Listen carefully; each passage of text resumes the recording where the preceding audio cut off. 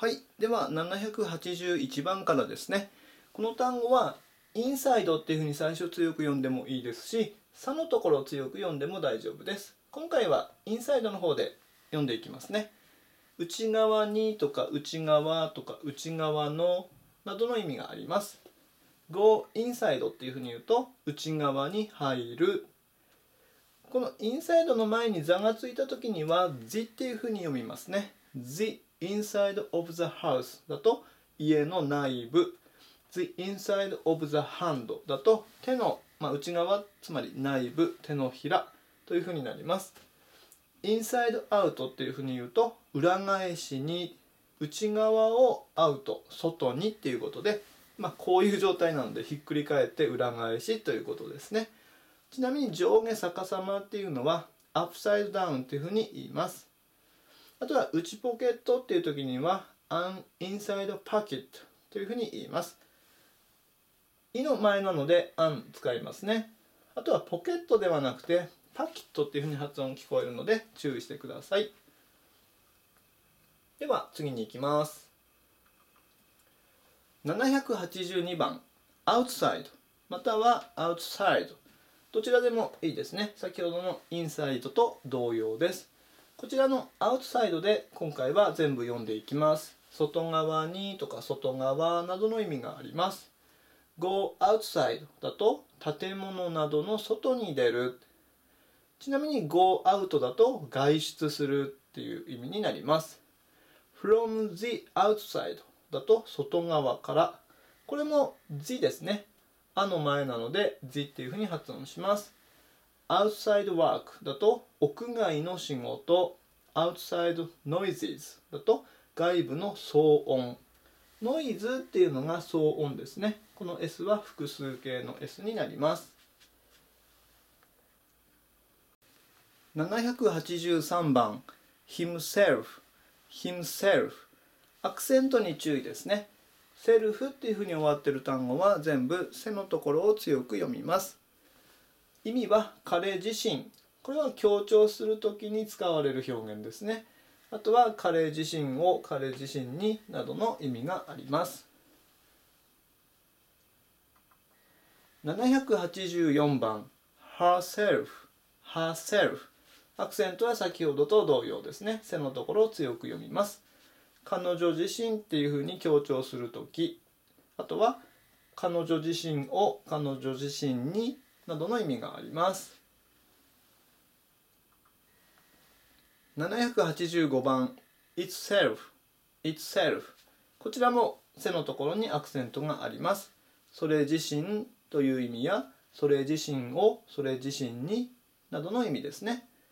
で、えー、とこのなんとかセルフっていう単語ですね。himself, herself, itself に関しては774番の yourself のところの英単語帳ですねの方に詳しくまとめています。ぜひそちらの方も見てください。774番 Yourself のところの英単語帳です。786番 Laugh Laugh 発音に注意ですね。この G のあたりで濁らないように気をつけてください。濁らずに Laugh っていうふうに発音します。声に出して笑うという意味でスマイルっていう単語は声を立てずににっこり微笑む。それに対して今回のラフは声に出して笑うというふうになります。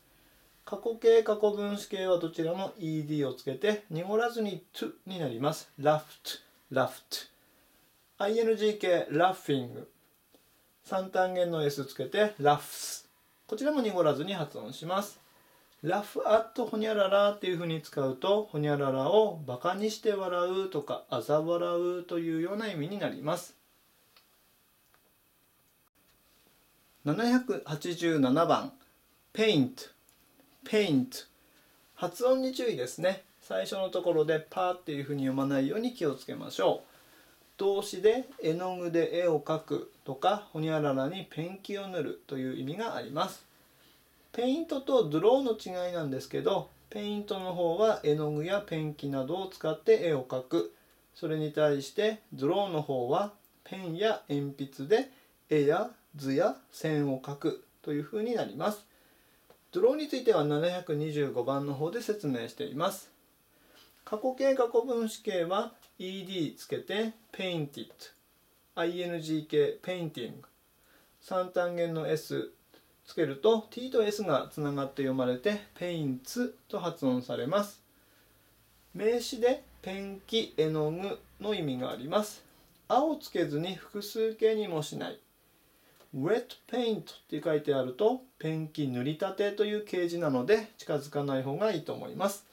あとこちらは S ついてるんですけどこの S ついてる時は絵の具一式っていう意味になるんですね。なのでオイルペインツっていうふうに言うと油絵の具一式。ウォーターペインツっていうふうに言うと水彩絵の具一式というふうに考えてください。788番 exciting exciting アクセント「さ」のところにあります。この「I」のところですね。あとはエキサイティングって読まないように気をつけましょう。 exciting。興奮させるようなとかワクワクさせるハラハラさせるなどの意味があります。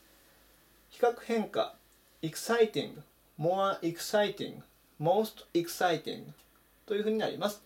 もっと興奮させる。最も興奮させる。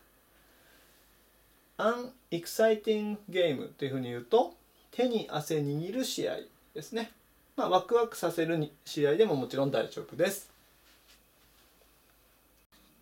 789番 soft soft またはソフトでも大丈夫です。柔らかいという意味だとハード硬いの反対。穏やかな優しいだと gentle っていう単語とほぼ同じ意味になります。A soft bed だと柔らかなベッド。In a soft voice だと穏やかな声でとか優しい声でというふうになります。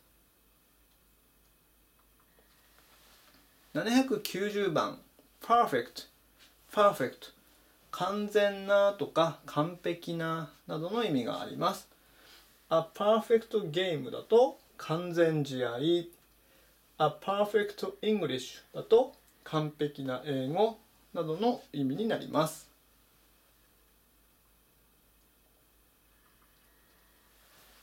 791番「ライ」ライこの単語はまず名詞の方ですね。こちらの方先に説明したいと思います。嘘という意味で truth 真実っていうのが反対になります。あとは動詞の方だと嘘をつくっていう意味と横たわる横になるっていう意味があるんですね。でそれぞれの意味で活用が違います。まず嘘をつくだと過去形 lied 過去分詞も lied ing 形が lying になります。これは ing 形注意なんですけどこのように ie で終わっているものの ing 形は y に変えるんですね。この ie のところを y に変えてから ing die っていう単語死ぬっていう単語の ing 形が dying っていうふうになるんですけどもそれと同じような形になります。丸2番横たわる横になるっていう意味の時には過去形が lay 過去分詞が laying 形は lying で同じ形になります。でこの活用については高校生レベルなのでまずは今回はこの名詞の嘘っていうのとあと動詞でこの意味があるんだなっていうところまでまず覚えてもらえれば大丈夫だと思います。3単元の S はどちらも一緒で rise になります。でこの例っていう単語ここで出てきたんですけどこれは来の過去形なんですけど例で現在形原型の単語もあるんですね。でそれが横耐える横にするっていうことなんですけどこのような単語もあるのでそちらと区別もちょっと難しい単語になります。こちらについては1113番の方で説明しています。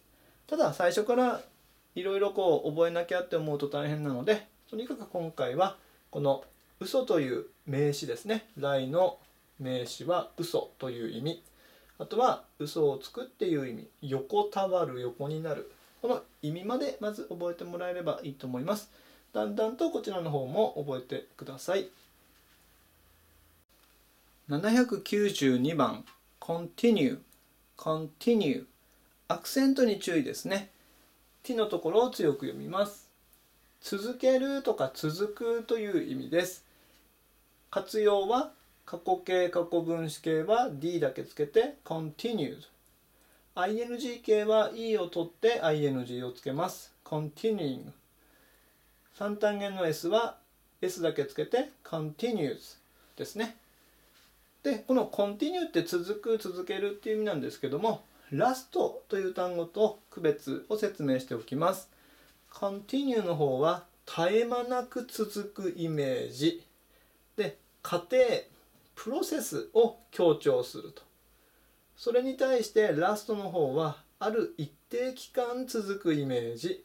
時間の長さを強調するということになります。ちょっと難しいんですけどね内容が。まあ、一応このように区別があります。ラストについては310番の方で説明しています。でよく使う表現がこれですね。to be continued 次号に続くとか、まあ、以下次号ドラマなどの最後の時にもこのように出てきたりしますよね。to be continued、まあ、続くっていう意味になります。793番 carefully carefully アクセント一番最初の部分にあります。注意深く念入りに慎重になどの意味です。比較変化。carefully more carefully most carefully more だともっと注意深く。most だと最も注意深く。という意味ですね。関連語。care は注意とか世話。こちらは729番。Careful は注意深いという意味でこちらは460番の方で説明しています。794番 forever forever 発音に注意ですね。よくカタカナで forever っていうふうに言うんですけどこの R と E の部分がつながるので forever っていうふうに聞こえます。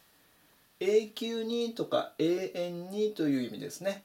イギリス英語では for と ever 話してこのように書くこともあります。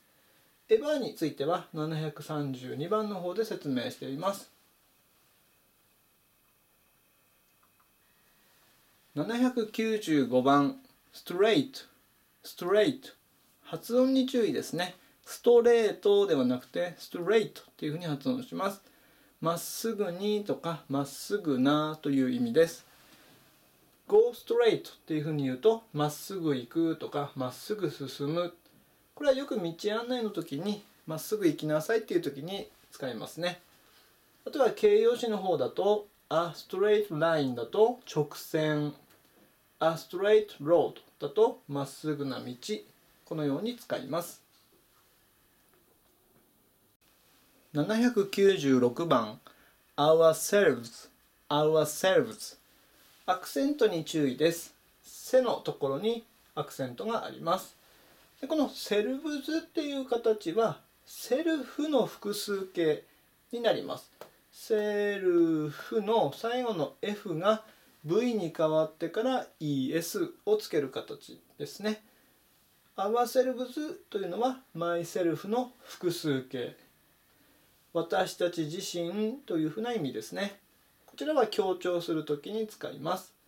あとは私たち自身を私たち自身にという意味があります。797番 yourselves yourselves アクセントは背のところにあります。こちらは yourself の複数形になります。この後ろの部分ですね。F のところが V に変わって ES この後ろのところでどちらなのかを判断しましょう。yourselves あなたたち自身っていうふうに強調するときあとはあなたたち自身をあなたたち自身にという意味もあります。798番 themselves themselves アクセントは背のところですね。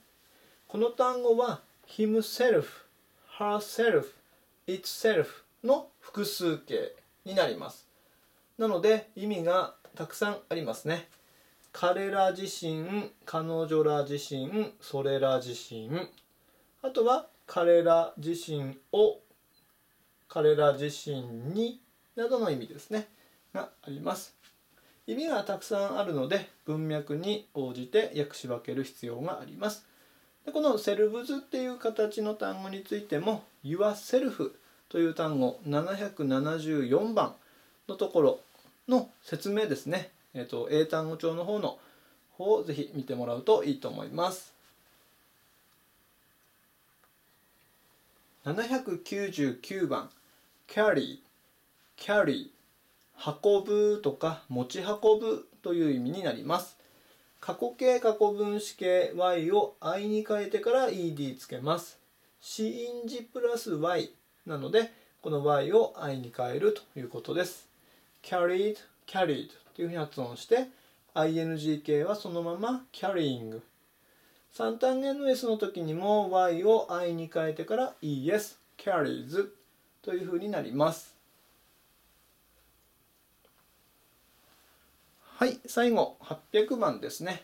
knock knock ノックではなくてナックっていうふうに発音しましょう。動詞でドアをノックするとかコツコツ叩くぶつかるなどの意味があります。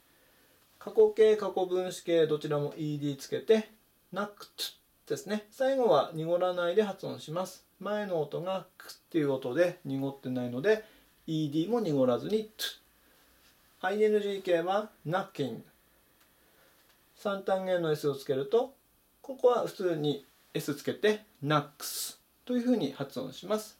前が濁らないので s も濁らずにすっていうふうに発音します。knock down っていうふうに言うと打ち倒すとか殴り倒す。knock out っていうふうに言うとノックアウトする。これはボクシングなどで使う用語ですね。あとは名詞でノックとか叩く音などがあります。はい。今回の25は以上になります。今見てもらっているのが今回の25をまとめたプリントになります。こちらのプリントは先ほどのスライドショーですね。はい。こちらの下のところ見てもらうとこのようなところがあります。画像かこのリンク部分どちらかをクリックしてもらうとこのようなページが開きます。印刷したい時にはこちらの PDF ファイルっていうところを開いてもらってえっと、ちょっと見づらいですけど下の方にプリンターのマークがあります。あとは画面上で右クリックしてもらうと印刷っていうのが出てくると思いますのでそちらから印刷して使ってください。はい、あとはこのプリント下の方を見ていくと今度は単語テストがあります。こちらの PDF ファイルから印刷もできます。是非ご利用ください。あとは最初に見てもらったこちらですね。25のまとめプリントというところをクリックすると今と同じページにリンクが貼ってあります。どちらからでもアクセスできるようになっています。是非ご利用ください。はい今回の動画は以上です。ありがとうございました。